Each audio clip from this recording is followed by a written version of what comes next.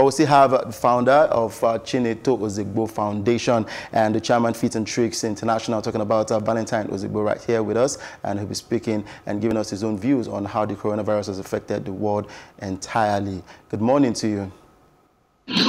Good morning. Yeah, it's good to have you live with us on Skype. My pleasure. Yeah, so let's talk about um, the COVID-19. It's really breaking down the whole world and businesses seem to be shutting down. I would like to have your own uh, view on how the virus is affecting the world.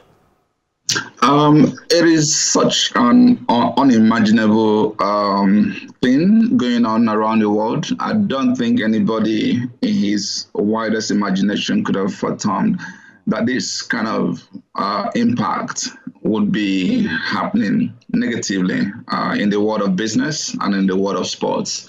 And I must say that what is also most um, difficult is the fact that the impact actually happens more for what I call labor intensive industries.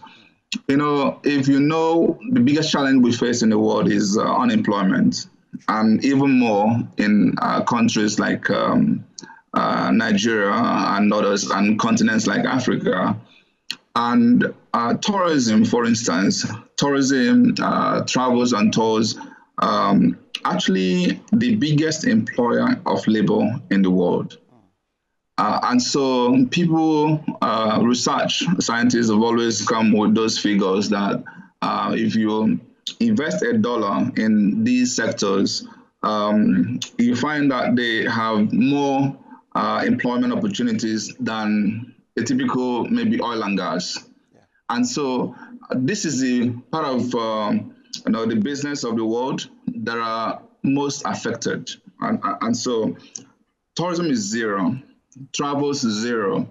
So we're not talking about reduced impact, we're talking about brought to ground zero. And the difficult thing about this is I can tell you, a lot of these businesses are not going to come back alive. So it's not a case of, oh, okay, let's just wait and when coronavirus, uh, COVID-19 pandemic is over, they're going to re, you know, resurface. Some of them are going to die permanently because if you understand how businesses are run, some of them are highly leveraged. Some of the business models we've always, I've always feared about airline business. Um, reason is just for a marginal increase in fuel price, they go into shock. How much more when they are grounded and there are sunk costs and there are running costs that will continue, whether or not they are flying. And so if they've leased these airlines, they've gone into fixed contracts, they've borrowed money, they've gone into fixed interest rates, they're going to pay all those interest rates. So how would they ever survive? And this is the reason why uh, you're seeing a lot of countries coming out with palliatives to support them. And that's the only reason that they can survive. If government can actually run to the um, you know, support uh, of uh, businesses, and they have to find creative ways of doing so because it gets to a point that even government may disappear. And, and I've said it with all sense of seriousness. Um, a lot of these countries are already overgeared, over leveraged. And so to keep piling, piling more debts, piling more debts, they get to a bankrupt situation. You can't borrow ad infinitum. And that is the situation we face. And if you actually then bring it down home here, you'll see again the same thing. A lot of our businesses are going to die, not just going to suffer, they're going to die. And a lot of people are going to lose jobs.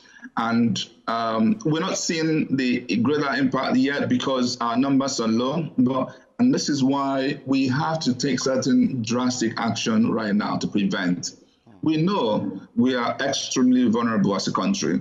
And so the best we can do for ourselves is to figure out how best to prevent this from escalating. Yeah. And that's why uh, I'm, you know, making those videos that a couple of others have also done, and that's why I'm also urging every Nigerian to see what can be done to prevent. So it's a huge uh, negative impact on businesses and sports as well.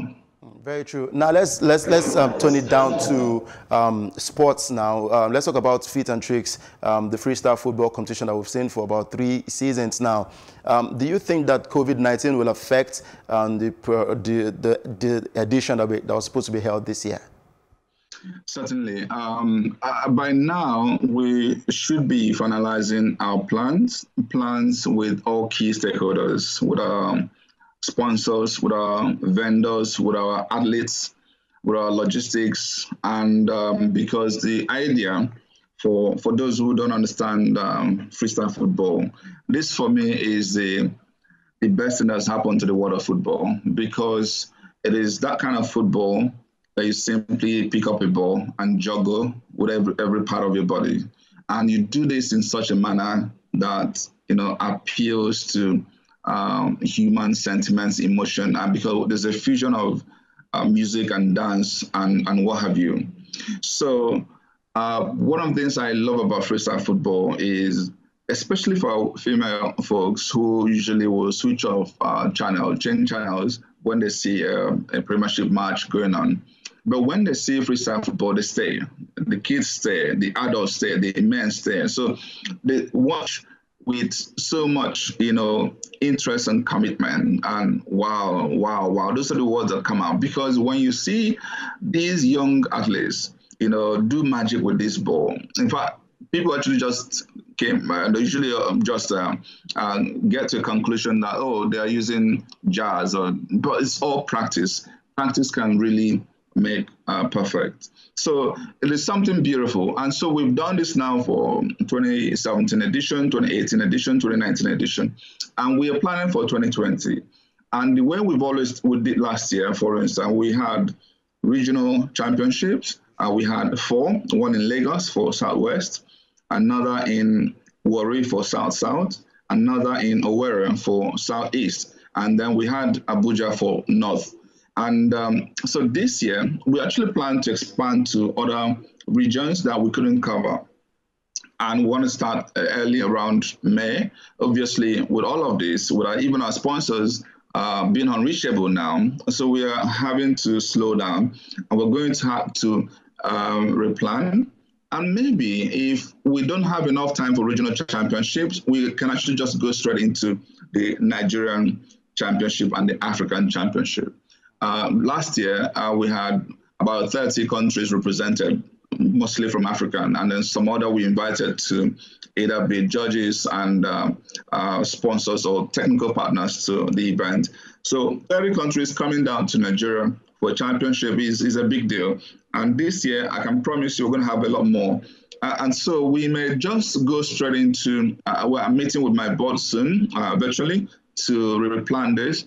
Uh, most likely, we will shift all our events towards uh, summer of this year. By the grace of God, uh, Corona should have come and gone. The impact would have also been uh, obviously minimized in our lives. So this is the plan. We are still going to go on with the championship this year, and we're likely going to just push that towards the end of this year after summer. And that way, we actually may just go straight into the Nigerian championship and the African championship. But I must say to you, last night I got on the phone with some of my team brainstorming. We actually want to also bring up um, a virtual competition where we get the freestylers to you know showcase their skills and and we you know kind of uh, put out an excitement there.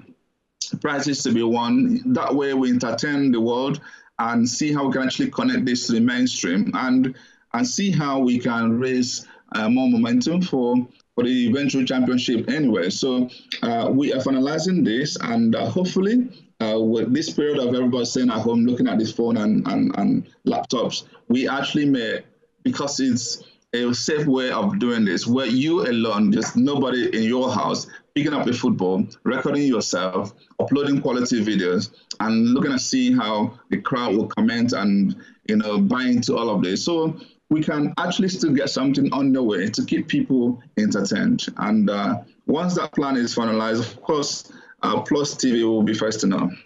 Thank you very much for that. And it's a good plan. We're, we're hoping and uh, believing that coronavirus will fade before then. Now, um, I would like to thank you very much for talking to us this morning.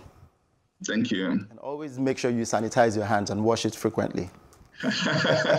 of course, not just uh, not just. Uh, let me also put out a one in there, please, because uh, as I was um, distributing the sanitizers uh, through my team, we were also putting out this message. Uh, please, these are colleagues uh, sanitizers are also inflammable. When you sanitize your hands, don't go near your gas cooker. People's hands have been burnt because of this. So let's be very uh, precautious about this. Thank you very much for speaking with us. All right, that was um, Valentine Ozigbo right there for the founder, Chineto Ozigbo Foundation, and also the chairman of Feet and Tricks International, talking about freestyle football, having a great conversation with him right there on the show this morning.